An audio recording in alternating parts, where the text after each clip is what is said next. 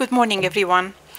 Uh, it's a pleasure to be here with you today and to welcome all of you to this uh, event. Um, we have seen already the impact of the tsunami of global shocks that have affected the continent and increased uh, fiscal vulnerabilities that the continent is facing.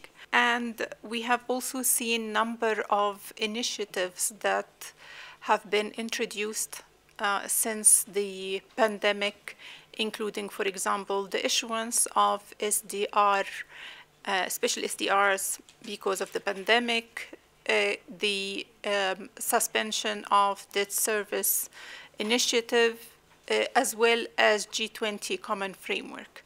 However, each of these solutions have faced a number of shortcomings that affected its usefulness. And um, this has really been further complicated by the fact that the landscape for debt for the continent has really evolved over the last two decades.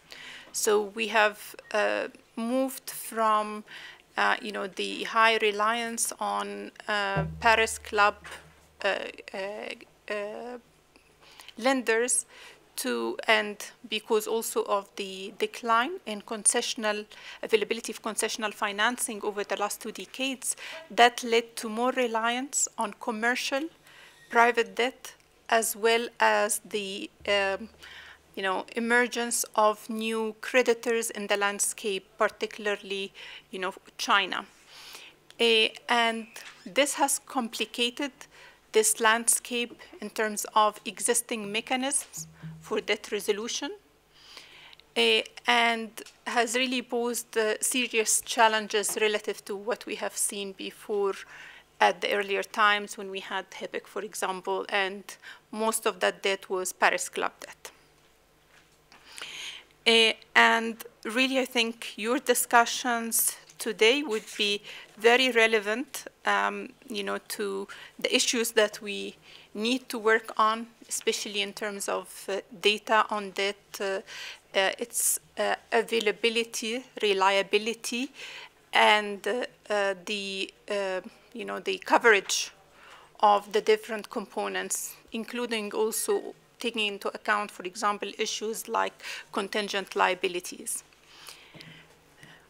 I've been leading work in ECA on global financial architecture reform and um, you know, through also the Africa High Level Working Group on Global Financial Architecture, which ECA serves as the secretariat, and it has the African Ministers of Finance, Economic Planning and Development, as well as the IMF, World Bank, African Union, African Development Bank, and Afrexim Bank. And issues of debt have been a core component of what we also have been discussing and what need to be reformed. And among the issues that have been discussed, for example, is the need for an overhaul of the G20 common framework to be more uh, time-bound, transparent, and efficient, and to uh, uh, you know, uh, enlarge eligibility to include middle-income countries because we have seen, for example, in Africa, uh, middle-income countries have been particularly hit by the consequences of the war in Ukraine. Um, and also we, uh, among the reforms that are required is having a standstill on debt service upon application to that framework so that it can give countries a breathing space while this restructuring is being done. So these are among the issues, but also not only on the G20 common framework and the overhaul, but there is also a need to look more broader in terms of regulation for debt. For example, um, having uh, climate clauses and uh, force majeure clauses in debt contracts is essential so that you know if countries are faced with these uh, uh with such events uh, they can have the space. They don't need to have trade-offs between actually um, handling uh, or facing the crisis and paying their debt. Uh, so integrating these clauses uh, regularly in debt contracts would be very important and also things like collective uh, uh, action clauses would be essential and these have been part of the things that we've been calling for there has been some progress on it. Uh, we have seen um, the UK, for example, introducing or mandating that for climate clauses, with the World Bank making a commitment to start to do that. But we need this to be universal so that it helps, uh, um, you know, global South and particularly African countries.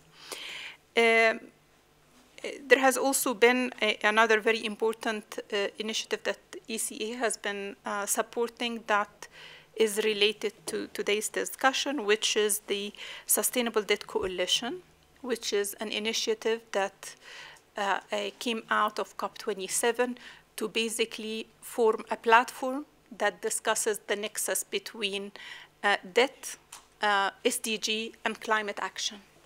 And how can we create the fiscal space needed to deal with these issues. Uh, and uh, the objective of the coalition is to reduce debt cost, uh, expand access to sovereign debt guarantees and blended finance, and create fiscal space for investments and a positive uh, investment outcome. So far, we have more than 22 countries that have expressed interest in the coalition. And this has the potential also to serve as a kind of, uh, in the future, a borrower club, a way in which borrower countries can uh, voice a common stance on certain issues, uh, that they can also be represented at the table when these issues are done so that it's not just, you know, um, countries can evolve into becoming part of the rulemaking rather than just rule taking. Um, I think we have a, um, you know, uh, I think a very uh, good milestone with the great new recent news with the African Union seat in the G20. I think this is, uh, uh, uh, you know, a great, a great uh, step forward because now, through the African Union seat, Africa can have a voice in terms of the reforms for the G20 common framework and debt-related issues. And uh, having that voice is really critical. Um, I think really, in terms of the issues that you will be uh, discussing in, uh, um, you know, uh, in the coming sessions, I hope that part of the uh, things that you will be looking at uh, would be uh, uh very important issues of building domestic capacity. Uh, it's, uh, I cannot emphasize it enough across the value chain. It's not just in terms of you know, having availability of these data so that you can have a better risk assessment meaning you know what credit rating you get because the better more credible and regular information the less there is element for discretion by rating agencies to use their judgment or to um, infer information. So uh, that would be really key. I think that's a, a, building block to really reduce information asymmetry is having these information on a regular basis. Uh, but also uh, for decision making in terms of when you when you're uh, when you have better and uh, available and credible data, you can have better informed decision making on whether or not to take this debt at what cost, for what returns, uh, to monitor how this is you know being spent or uh, uh, um, you know, uh, the finan future financing needs. So it's very important also for decision makers to make a proper uh, uh, assessment on their needs and the use of the funding that they get.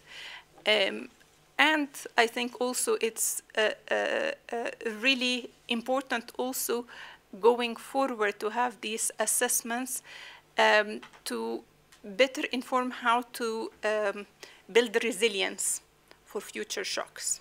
So if you have all this data on a regular basis, when you are hit, whether it's a climate shock, whether it's a pandemic or any other global shock, you're better informed to sit at the table with the relevant information to have scenarios on what is needed and how you know, a country uh, uh, debt sustainability uh, um, scenarios. For example, for some countries, it's an issue of uh, the uh, profile of their debt or the cost of their debt.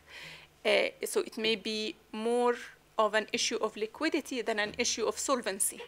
And it's only with data that you can show this, if you have the data. So when countries have high risk of debt distress, high vulnerability, for them to be able to have informed discussions with creditors, uh, they cannot do it without the statistics we're talking about.